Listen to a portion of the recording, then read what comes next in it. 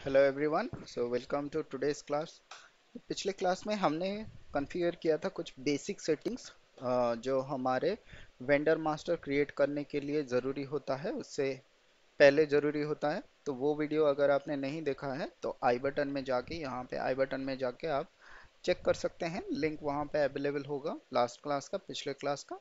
तो आप वहाँ से जाके चेक कर सकते हैं कि कौन सा वाला बेसिक सेटिंग्स ज़रूरी होता है। एक वेंडर मास्टर क्रिएट करने से पहले। तो आज हम सीखेंगे how to create a vendor master by purchasing department तो परचेजिंग डिपार्टमेंट के साइड से, यानी कि हमारा जो एम के ज़ीरो वन ट्रांजेक्शन कोड से, हम कैसे वेंडर मास्टर क्रिएट कर सकते हैं। सो लेट्स स्टार्ट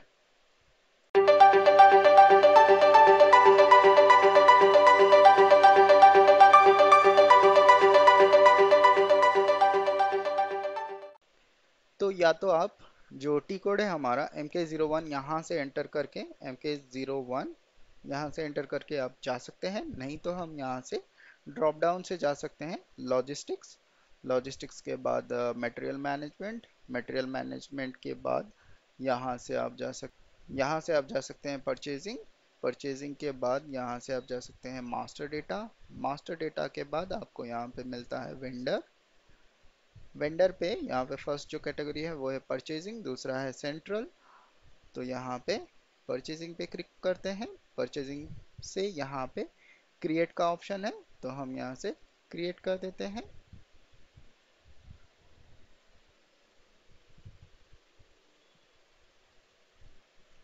तो यहाँ पे पहला जो फ़ील्ड है वो है वेंडर का नंबर, यानी कि नंबर रेंज असाइनमेंट जो हमने किया था, उसके हिसाब से यहाँ पे आपका जो नंबर है, वो या तो ऑटोमेटिकली ले लेगा, या फिर आप यहाँ पे एंटर कर सकते हैं। नेक्स्ट जो है, वो है परचेजिंग ऑर्गेनाइजेशन तो यहाँ पे एक परचेजिंग ऑर्गेनाइजेशन के साथ ही हम वेंडर क्रिएट कर सकते हैं, ताकि वो परचेजिंग ऑर्गेनाइजेशन इस वेंडर के साथ जो भी हमारा बाई एंड सेलिंग का जो भी हमारा बाइंग का रहेगा, वो सारा जो प्रोसेस है, वो इसी परचेजिंग ऑर्गेनाइजेशन के साथ ही हो पाएगा। तो यहाँ पे हम ले लेते हैं हमारा जो परचेजिंग ऑर्गेनाइजेशन हमने बनाया था P one one zero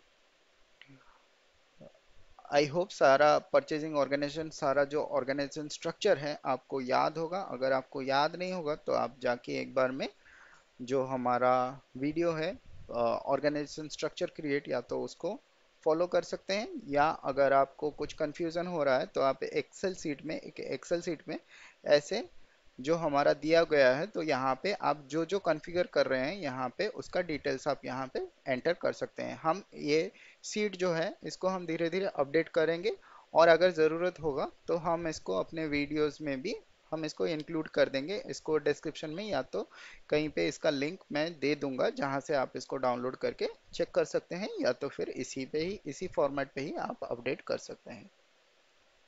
तो यहाँ पे अकाउंट ग्रुप जो हमने लास्ट टाइम क्रिएट किया था, वही अकाउंट ग्रुप से हम यहाँ पे जो अकाउंट ग्रुप अगर हम एंटर करेंगे तो ये वेंडर का नंबर वहाँ से सिलेक्ट हो जाएगा। और अगर आपका वेंडर का कोई टेम्पलेट है तो आप यहाँ से एग्जिस्टिंग वेंडर और उसका परचेजिंग ऑर्गेनाइजेशन दोनों अगर दे दोगे तो आपका जो वेंडर है, जो नया वाला वेंडर है, वो उसी टेम्पलेट से यहाँ पे क्रिएट हो जाएगा। तो हम यहाँ पे सपोज़ अकाउंट ग्रुप जो हमने लिया था वो हमने लिया था टाटा मोटर्स मैन्युफैक्चरिंग वेंडर लिया था। तो यहाँ पे हम चेक कर लेते हैं।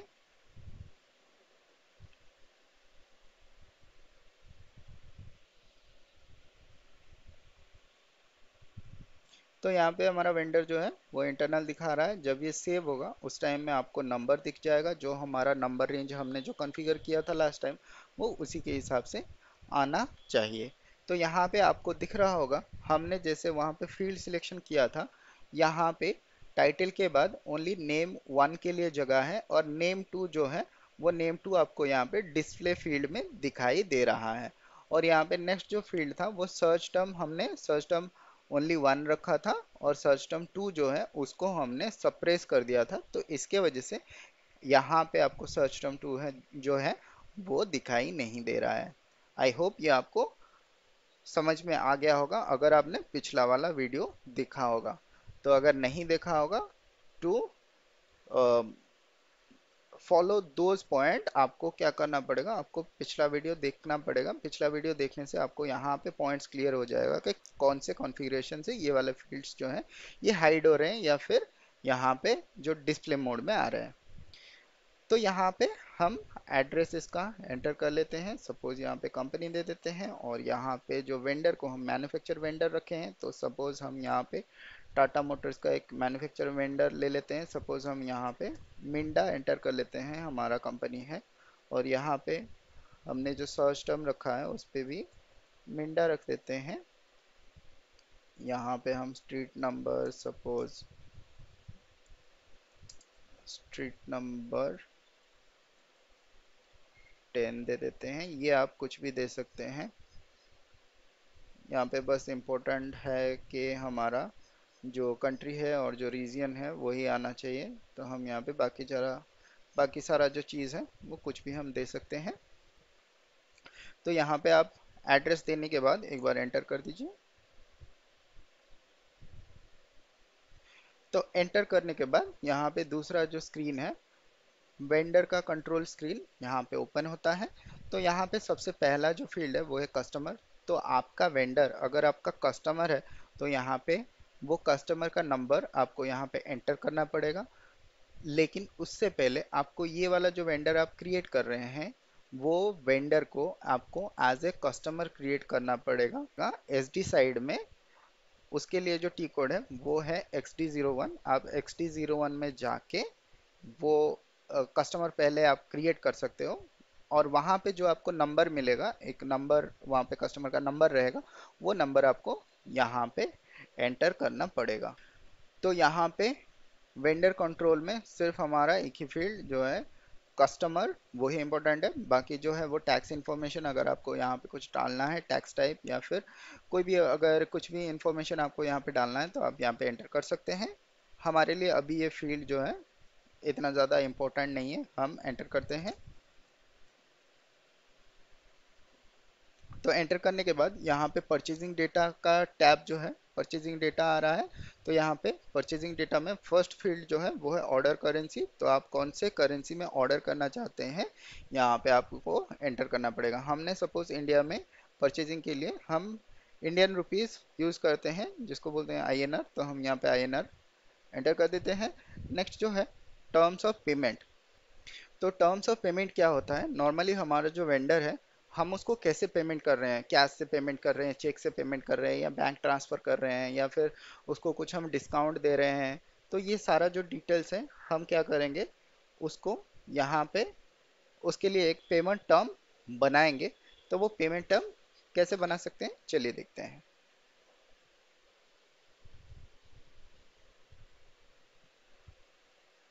तो यहाँ पे हम जाते हैं S P R O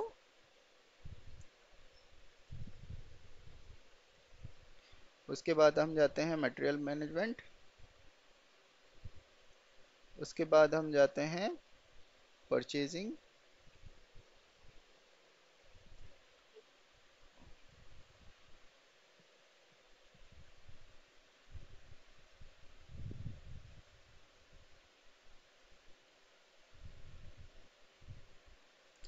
purchasing के बाद हम जाते हैं वेंडर मास्टर वेंडर मास्टर में पहला जो कंडीशन है, वो है, पहला जो टैब है या फिर पहला जो फ़ील्ड है, वो है डिफाइन टर्म्स ऑफ़ पेमेंट तो यहाँ पे हम क्लिक कर लेते हैं।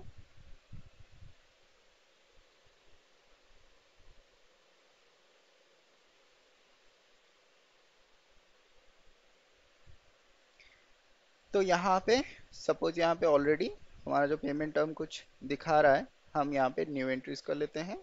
न्यू एंट्रीज करके यहाँ पे हम जो पेमेंट टर्म है, वो हमारा टाटा मोटर्स ज़ीरो वन कर लेते हैं टी एम ज़ीरो वन यहाँ पे टैक्स जो है, उसको हम डाल देते हैं। मिंडा पेमेंट टर्म्स तो यहाँ पे अकाउंट टाइप कौन सा है कस्टमर है या वेंडर है, आप यहाँ पे सिलेक्ट कर सकते हो। नेक्स्ट जो है, वो है पेमेंट मेथड तो यहाँ पे different types of payment method है, आप यहाँ से सिलेक्ट कर सकते हैं।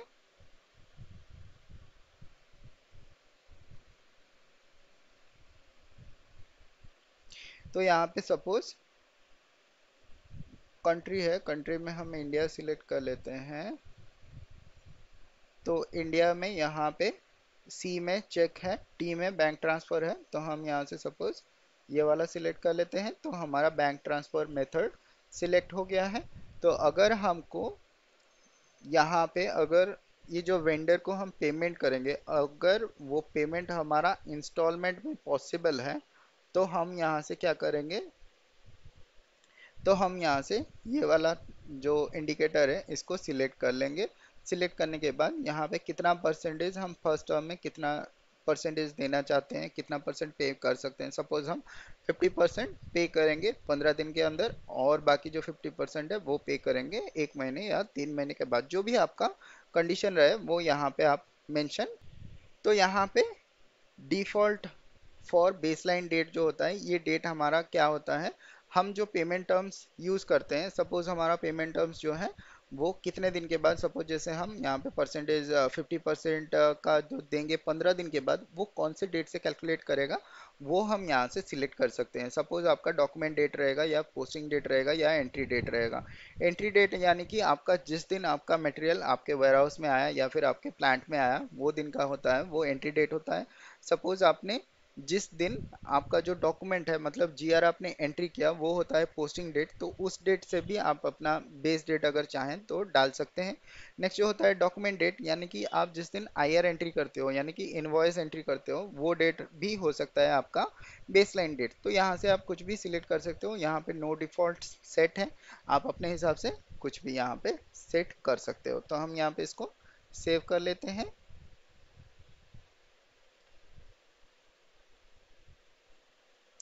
तो हम यहाँ पे हमारा जो पेमेंट टर्म था टी एम ज़ीरो वन एक बार हम सब सर्च कर लेते हैं क्या हमारा पेमेंट टर्म जो है अपडेट हो गया है कि नहीं है।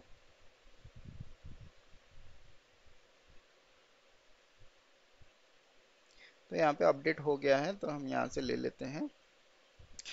नेक्स्ट जो है, वो है इनको टर्म्स तो यहाँ पे बेसिकली इनको टर्म्स जो होता है, वो किसके लिए होता है? नॉर्मली हमारा जो ओवरसीज वेंडर होता है, अगर हमारा जो मटेरियल है वो बाहर से आ रहा है तो उसका जो फ्रेट चार्जेस रहेगा फ्रेट यानी कि हमारा जो ट्रांसपोर्टेशन चार्ज रहेगा, वो कौन पे कर रहा है। अगर वो जो हमारा मटेरियल आ रहा है, वो शिपमेंट जो आ रहा है, अगर उसका इंश्योरेंस भी कराना है तो इंश्योरेंस कौन करवाएगा?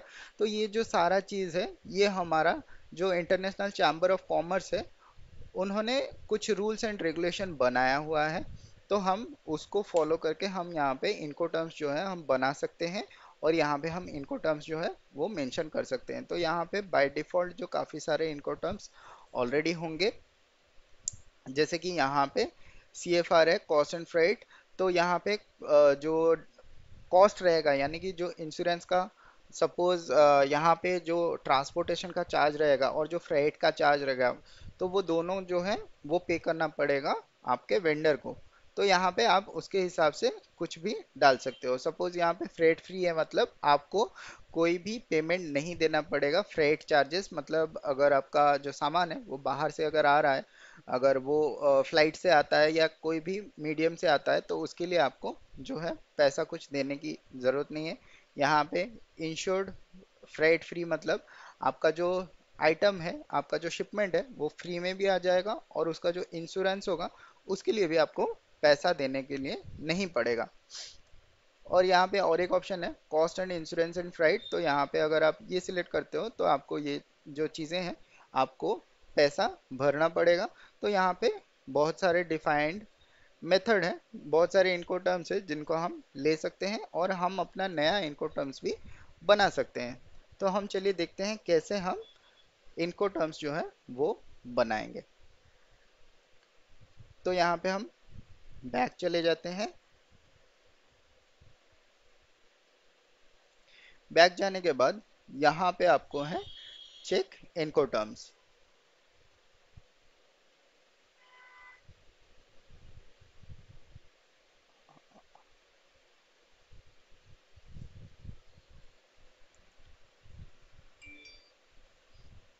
तो यहाँ पे आपको वहाँ पे जितना सारा इनको टर्म्स दिखाई दे रहा था, ये ऑलरेडी है। अगर आपको कोई नया वाला इनको टर्म्स बनाना है तो आप यहाँ पे न्यू एंट्रीज में जाके आप यहाँ से बना सकते हैं, या तो फिर आप यहाँ से चाहें तो कॉपी भी कर सकते हैं।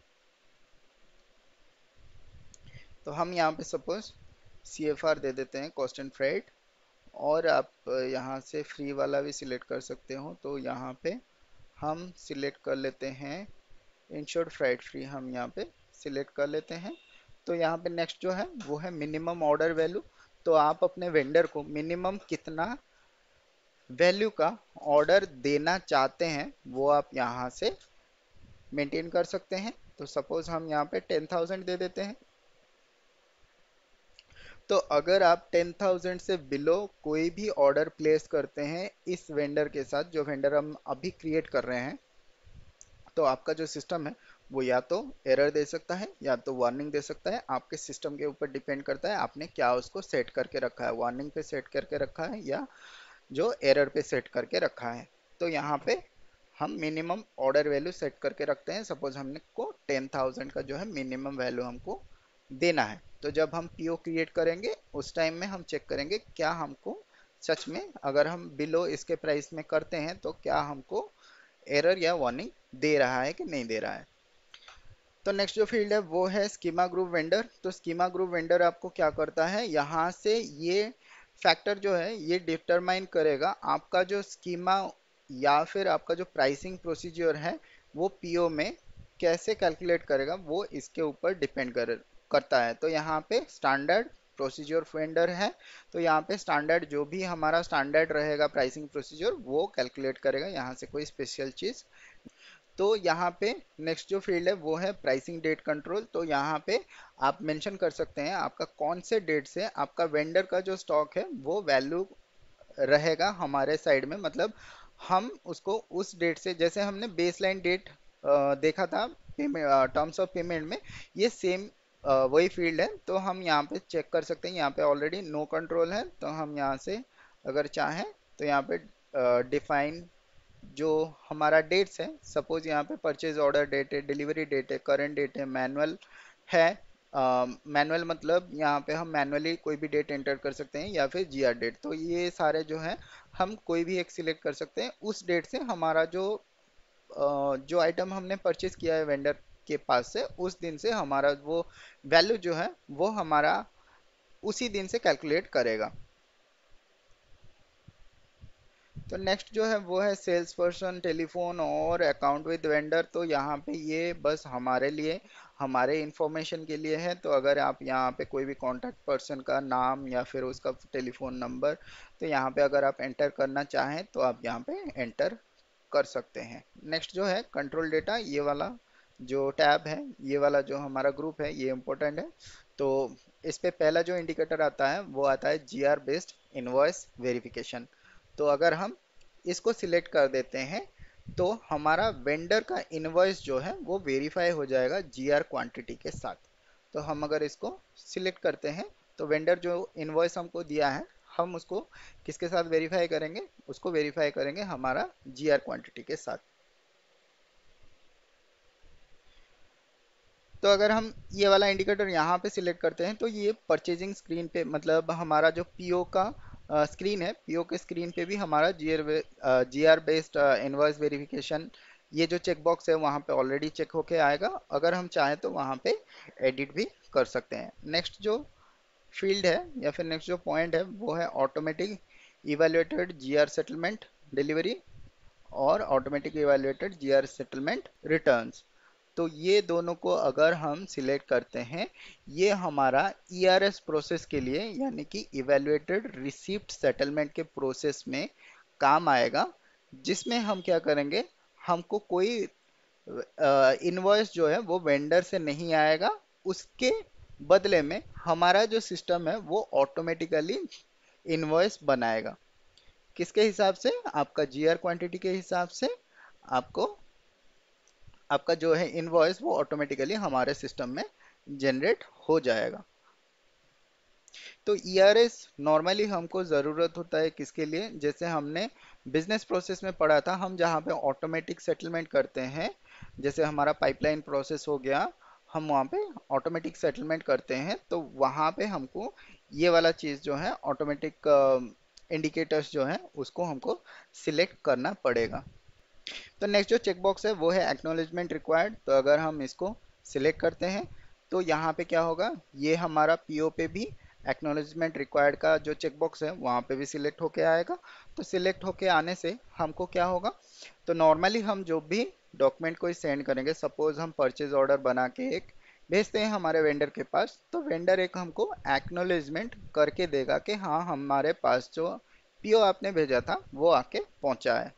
तो ये इंडिकेटर ये काम करता है। तो अगर आप इसको सिलेक्ट करके रखते हैं तो जब भी आप कोई भी डॉक्यूमेंट सेंड करोगे वेंडर के पास वेंडर हमको एक्नोलेजमेंट देगा। सपोज़ कि हमारे पास पीओ का जो पीओ का डॉक्यूमेंट है, वो आके पहुँच गया है, या फिर हम जो डिलीवरी के लिए शेड्यूल कर रहे हैं, या फिर हमारा जो डिलीवरी है, वो ऑलरेडी डिस्पैच हो गया है। हमारा आइटम जो है, वो डिस्पैच हो गया है। तो वो सारा कुछ एक्नोलेजमेंट आप जो हिसाब से मेंटेन करके रखेंगे, उसके हिसाब से आपको जो है वो आ, आपको वैसे ही एक्नोलेजमेंट आपके वेंडर देगा।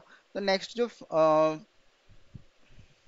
तो नेक्स्ट नेक्स्ट जो चेकबॉक्स है वो है ऑटोमेटिक परचेज ऑर्डर के लिए। तो ये भी एक रिक्वायरमेंट है बेसिक रिक्वायरमेंट है परचेज ऑर्डर क्रिएट करने के लिए। तो पहला जो था वो मटेरियल मास्टर में था। दूसरा जो है वो यहाँ पे परचेज ऑर्डर पे है। हम उसका डिटेल्स जो भी उस ऑटोमेटिक परचेज ऑर्डर बनाने के लिए रिक्वायरमेंट है वो हम ऑटोमेटिक परचेज ऑर्डर जब बनाएँगे, उस टाइम में हम पूरा डिटेल्स देखेंगे। यहाँ पे आप बस ये जान के रखिए, अगर हम ये वाला चेकबॉक्स अगर टिक करके नहीं रखते हैं वेंडर मास्टर में तो हम ऑटोमेटिक परचेज ऑर्डर जो है, वो बना नहीं सकते हैं। तो यहाँ पे नेक्स्ट जो इंडिकेटर्स हैं, वो है subsequent settlement subsequent settlement index B volume company तो यहाँ पे ये वाले जो तीन इंडिकेटर्स हैं, ये हमको ज़रूरत है किसके लिए? रिबेट एग्रीमेंट के लिए। तो सपोज़ हमारा जो वेंडर है, वो हमको कुछ रिबेट देने वाला है। सपोज़ काफ़ी सारे जगह पे आप जब परचेज कर रहे होंगे तो वहाँ पे आपको काफ़ी सारे रिबेट्स मिलते हैं। तो जैसे कि दो कोई भी चीज़ परचेज करने में एक और चीज़ आपको फ्री मिलता है तो ऐसे या फिर आप थाउज़ेंड रुपीज़ का कोई भी परचेज करें तो आपको पाँच परसेंट या दस परसेंट का कैशबैक या फिर आपको जो डिस्काउंट होता है, वो मिलता है। तो वो सेम यहाँ पे हमारा वेंडर अगर ऐसा कोई कंडीशन भी है वेंडर के ऊपर कि आपको वो रिबेट दे रहा है तो आप यहाँ से ये वाला जो इंडिकेटर है, ये तीन इंडिकेटर आप सिलेक्ट करके रख सकते हैं। तो ये तीन इंडिकेटर अगर आप सिलेक्ट करके रखेंगे तो ही आपका जो रिबेट एग्रीमेंट है, वो आप बना सकते हैं आपके वेंडर के साथ।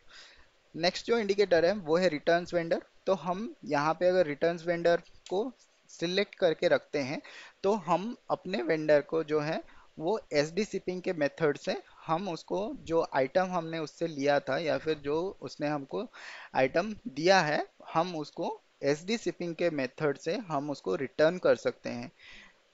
लेकिन उसके लिए भी एक प्री रिक्विजिट है। तो उसके लिए हमको क्या करना पड़ेगा? पहले ये वेंडर को एज ए कस्टमर क्रिएट करना पड़ेगा।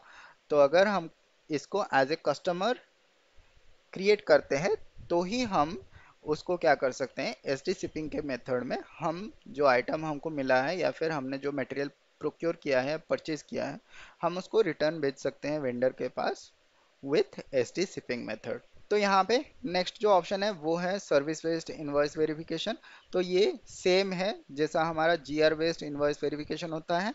तो यहाँ पे अगर हम इसको चेक करते हैं तो अगर हमारा ये जो वेंडर है, ये अगर हमको सर्विस प्रोवाइड करता है तो हमारा जो सर्विस एंट्री सीट जो होता है, जहाँ पे हम सर्विस सारे एंट्री करते हैं, उसके साथ ही आपका जो इन्वॉइस है, वो वेरीफाई हो जाएगा आपके सर्विस एंट्री सीट के साथ, अगर आप यहाँ से इसको सिलेक्ट करते हैं तो।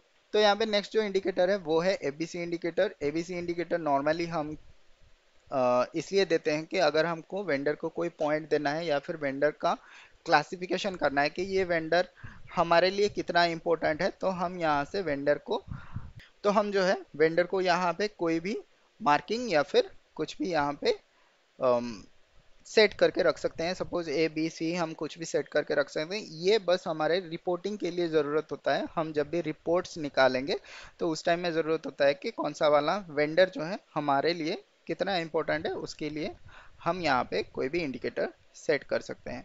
नेक्स्ट जो है, वो है मोड ऑफ़ ट्रांसपोर्ट बॉर्डर तो मोड ऑफ़ ट्रांसपोर्ट बॉर्डर क्या होता है? नॉर्मली वेंडर अगर हमारा ओवरसीज वेंडर है तो ये कौन से ट्रांसपोर्ट मेथड के हिसाब से हमारा जो मटेरियल है, वो हमारे बॉर्डर तक पहुंचाएगा ये हम यहाँ पे सेट कर सकते हैं। सपोज़ हमारा जो वेंडर है, वो हमको मटेरियल जो है, वो हमको पहुँचा रहा है बाय एयर या फिर बाय शिप से भेज रहा है, या फिर हमारा कैसे कार्गो से भेज रहा है तो वो सारा जो चीज़ है, वो हम यहाँ पे मोड ऑफ़ ट्रांसपोर्ट के हिसाब से हम यहाँ पे डिफाइन कर सकते हैं। तो मोड ऑफ़ ट्रांसपोर्ट बॉर्डर हम क्रिएट कैसे कर सकते हैं, चलिए देखते हैं। तो यहाँ पे हम जाते हैं परचेजिंग परचेजिंग के बाद हम जाते हैं फॉरेन ट्रेड एंड कस्टम्स तो यहाँ पे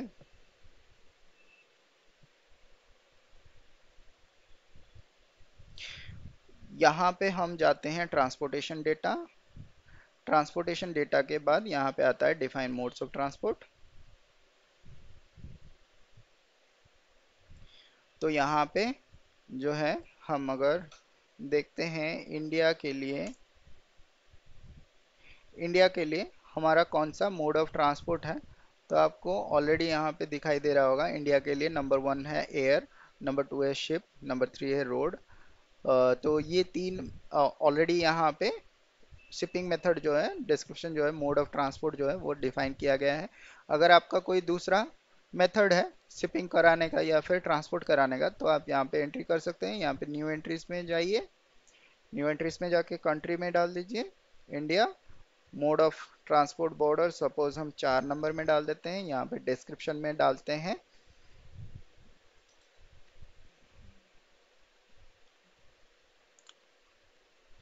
सपोज़ हम डाल देते हैं यहाँ पे Uber delivery that's a joke but यहाँ पे आप अगर चाहें तो आप यहाँ पे मोड ऑफ़ ट्रांसपोर्ट बॉर्डर जो है वो क्रिएट कर सकते हैं। तो यहाँ पे सपोज़ हम जो मोड ऑफ़ ट्रांसपोर्ट है, हम सपोज़ इसको वन दे देते हैं। हालाँकि हमारा जो ये वेंडर है, हम इसको इंडिया के लिए ही बनाया है तो हमारा यहाँ पे इतना ज़रूरत नहीं है। दूसरा जो है, वो है office of entry office of entry यानी आपका जो मटेरियल है वो कौन से लोकेशन में जो बॉर्डर में आएगा वो कौन से लोकेशन में आएगा? सपोज़ हमारा यहाँ पे काफ़ी सारे जो इंटरनेशनल एयरपोर्ट्स हैं सपोज़ हमारा दिल्ली में है हैदराबाद में है हमारा कोलकाता में है बैंगलोर में है चेन्नई में है आ, हमारा जो शिपिंग मतलब शिप का जो शिपयार्ड होता है शिपयार्ड हमारा जैसा हैदराबाद में होता है चेन्नई में होता है कोलकाता में होता है कोचीन में होता है तो आपका जो बॉर्डर है या फिर आपका जो ऑफ़िस है, वो कहाँ पे लोकेटेड है? कस्टम का जो ऑफ़िस है, वो कहाँ पे लोकेटेड है, वो यहाँ पे आपको एंट्री करना रहेगा। तो आपका सपोज़ कस्टम्स एंट्री जो है, वो हम यहाँ पे टू लिए हैं मतलब यहाँ पे शिप है। तो हमारा जो पोर्ट है, वो पोर्ट कहाँ पे लोकेटेड है, वो आपको यहाँ पे एंटर करना पड़ेगा।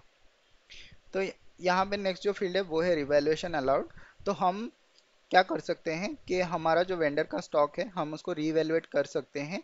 सपोज़ हमारा मार्केट कंडीशन के हिसाब से या फिर वेंडर का जो मटेरियल है, उसका कंडीशन के हिसाब से सपोज़ हमारा जो मटेरियल है, वो हमको थोड़ा सा पुराना स्टॉक मिला है या फिर हमारा जो आइटम्स है, वो शायद थोड़े से टूट गए हैं तो हम यहाँ पे क्या कर सकते हैं? थोड़े डैमेज हो गए हैं तो क्या कर सकते हैं? उसके लिए हम यहाँ पे रीवैल्यूएशन कर सकते हैं। मतलब वैल्यू जो है, उसको चेंज कर सकते हैं। या तो बढ़ा सकते हैं, या तो कम कर सकते हैं। तो यहाँ पे अगर हम ये वाला इंडिकेटर सिलेक्ट करके रखेंगे तो हम रिवैल्यूएट कर सकते हैं, वरना हमको रिवैल्यूएट नहीं कर सकते हैं। जो भी स्टॉक है स्टॉक का प्राइस जो है, वो सेम रहेगा। तो नेक्स्ट जो फ़ील्ड है, वो है ग्रैंड डिस्काउंट इन काइंड तो यहाँ पे अगर हम इसको सिलेक्ट करते हैं तो वेंडर जो है, हमको फ्री गुड्स बेच सकता है। हमको अगर वो कुछ डिस्काउंट देना चाहे या फिर अगर एक्स्ट्रा कोई सामान अगर भेजना चाहे तो हमको यहाँ पे भेज सकता है। हम उसको एंट्री कर सकते हैं। तो हमारा नेक्स्ट जो फ़ील्ड है, वो है शिपिंग कंडीशन यहाँ पे शिपिंग कंडीशन आपका क्या करता है? आपका ये शिपिंग पॉइंट जो है, उसको डिटरमाइन करता है आपके आउटबाउंड डिलीवरी के लिए या फिर आपके पीओ के लिए। यहाँ पे आपका शिपिंग पॉइंट जो है, उसको डिटरमाइन करता है।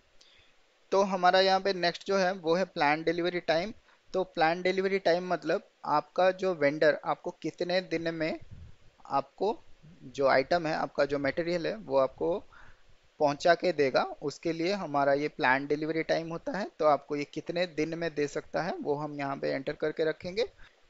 तो यहाँ पे नेक्स्ट जो फ़ील्ड है, वो है कंफर्मेशन कंट्रोल यहाँ पे आप देख सकते हैं, काफ़ी सारे कंफर्मेशन कंट्रोल जो है वो दिया गया है तो यहाँ पे ट्रिपल ज़ीरो वन जो है वो कंफर्मेशन है। और यहाँ पे काफ़ी सारे जो चीज़ हैं वो ऑलरेडी मेंटेन्ड है। यहाँ पे जैसे ऑर्डर एक्नॉलेजमेंट हो गया या फिर डिलीवर्ड हो गया कंफर्मेशन हो गया तो आप यहाँ से कुछ भी सिलेक्ट कर सकते हैं। ये सिलेक्ट करने के बाद क्या होगा, जब आप पीओ सेंड करेंगे अपने वेंडर के पास तो वो वेंडर क्या करेगा, आपको ऑर्डर एक्नॉलेजमेंट भेजेगा या फिर आपको शिपिंग नोटिफिकेशन भेजेगा। वो जो सारा कुछ भेजेगा, कौन सा जो मतलब एक कंफर्मेशन भेजेगा आपको, वो सारा आप यहाँ से डिफाइन कर सकते हैं। तो ये हमारे कुछ इम्पोर्टेंट फील्ड्स थे जो हमको एक वेंडर मास्टर बनाने के लिए हमको जानना ज़रूरी होता है, हमको जानना चाहिए। तो परचेजिंग साइड के लिए इतना जो डेटा है, वो मोस्ट इम्पोर्टेंट थे मतलब कुछ इम्पोर्टेंट डेटा थे। अगर आपको कोई दूसरा फ़ील्ड के बारे में जानना है तो आप ज़रूर कमेंट सेक्शन में बताइए। I will try to explain you उसका क्या इम्पोर्टेंस है? अगर आपको कोई ऐसा डाउट है तो आप पूछ सकते हैं। तो चलिए हम इसको सेव कर लेते हैं।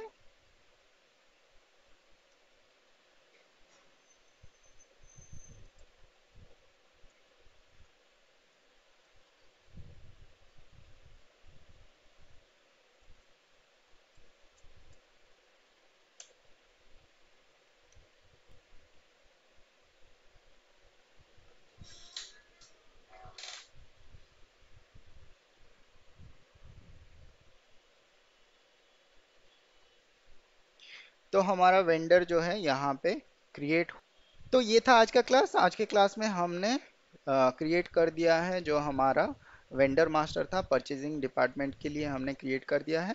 तो हम मिलते हैं अगले क्लास में। अगले क्लास में हम इसी वेंडर को एक्सटेंड करेंगे टू अकाउंटिंग डिपार्टमेंट तो अगर आपको आज के क्लास में कोई भी डाउट है तो आप ज़रूर कमेंट सेक्शन में पूछ सकते हैं, या फिर अगर आपने ग्रुप ज्वाइन किया है तो ग्रुप में भी डायरेक्टली पूछ सकते हैं। तो मिलते हैं अगली क्लास में, तब तक के लिए बाय बाय जय हिंद टेक केयर एंड पढ़ते रहें और सीखते रहें।